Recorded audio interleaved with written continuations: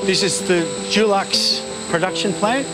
It's the biggest water-based plant in the Southern Hemisphere. It's brand new. It's located at Merrifield, which is on the outskirts of Melbourne in Victoria, Australia. We've been running less than three months. However, in that three months, we're seeing a, around about a 25% energy efficiency over what we designed for.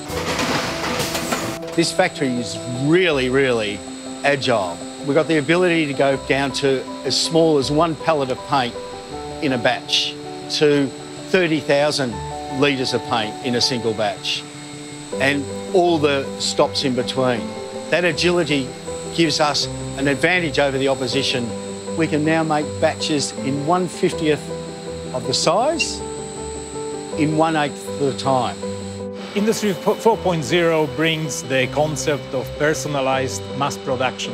In Dulux terms, we've brought the production pretty close to that objective, uh, producing batch of one, a pallet size of about 150th of what was previously possible.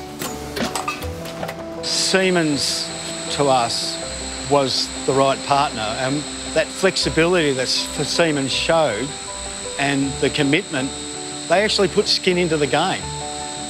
It was really important to the success of this project.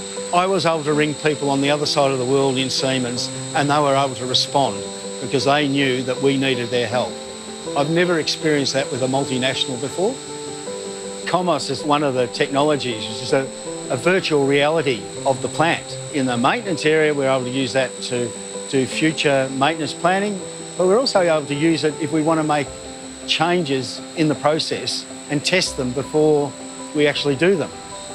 To have somebody holding your hand through an area that nobody has really experienced before is so important.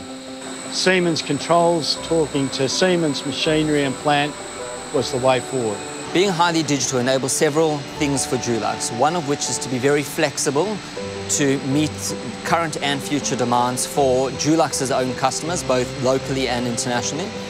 But at the same time, it also enables a cheaper cost of production. Well, there's a lot less wastage. There's also data that's now coming out to Dulux, which they've never had before. And what that enables them to do is be able to optimize their recipes for future or for ongoing paint product. One of the key things we had to achieve in the design of this plant was the elimination of manual intervention.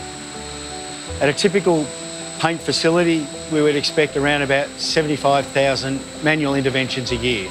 This plant's eliminated pretty much all manual intervention. It's a great success story in just that.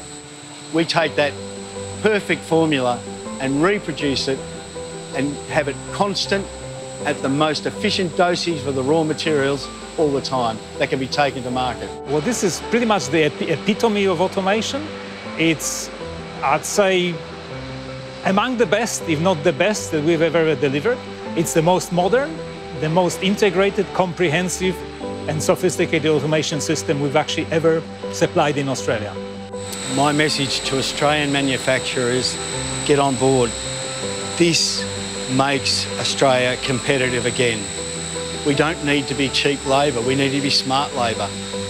And that's what these plants will give us everybody's got a smile on their face. that just, people are happy to work here.